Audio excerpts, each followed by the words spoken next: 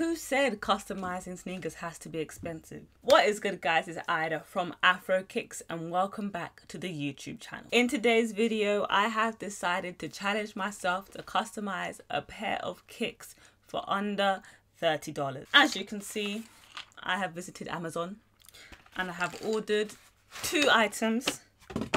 I have ordered myself some acrylic paint pens as well as some shoes. So the shoes that I got were actually a pair of almost Converses. These are non-branded almost Converse shoes that I am going to be customizing with these painting pens. I've seen a lot of people customize shoes with Posca pens which aren't always the most affordable to get so I thought I would try out these pens that I got for about $15 on Amazon and these shoes that I got for about 10 the paint painting pen says that they can be used on any surfaces including glass, ceramic, porcelain, wood, metal, canvas, plastic and etc. And these are canvas so guys let's just get right into the customizing.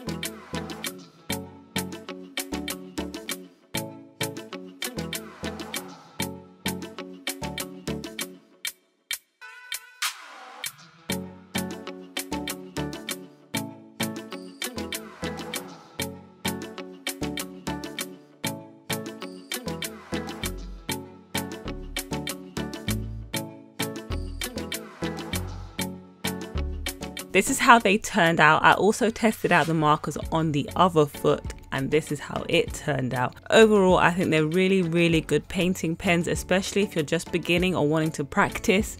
So definitely check out the link in the description for where you can find both the pens and the shoes.